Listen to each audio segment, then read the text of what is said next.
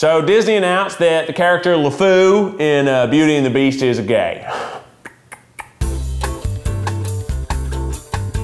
If I can't sit through a movie with God or Jesus sitting by me, then I got no business showing it. Outside of the liberal media, a lot of good folk are commending me on my stance to ban this movie. So I thought I'd take this opportunity to let people know about the other films I've wanted to ban. We'll start at the top. Obviously, Harry Potter cannot show that film. Witchcraft has no place in any school. Moana had to ban it. Ocean ain't no person. Mountains ain't no lady. Zootopia, also Disney. Gazelles aren't that sexy. Animals shouldn't be depicted so sexy. Jurassic Park, the Earth is only 3,000 years old. All those bones are just planted by the devil. Star Wars, ain't nothing in the stars besides heaven. Frozen, witches. Bandit. Lion King, again, Disney, teaching kids to run away from their family, hang out with a bunch of gays in the woods, have premarital sex, and then come back and you can be king? How the Grinch Stole Christmas. Not one mention of Jesus Christ in, in a Christmas movie.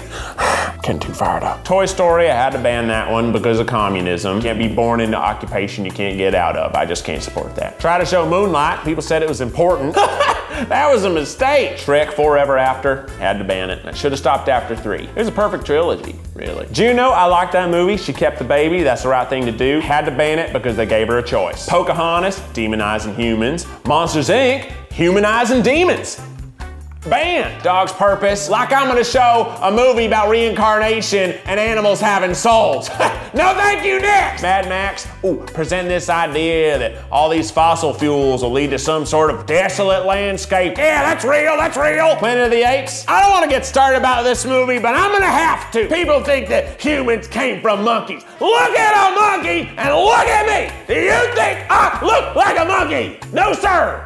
No, sir! Finding Dory? You can find another theater! Good luck finding one! Get out. No, sir.